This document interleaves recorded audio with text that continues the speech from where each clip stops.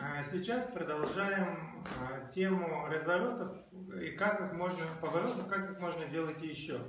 И у нас был вариант такой поворота, да? еще какой-то у нас был вариант поворота, я уже не помню. А сейчас мы делаем опять же базовый поворот, но с перекрестной системой, да? И остальное делаем то же самое. Да, вот. Пам-пам-пам.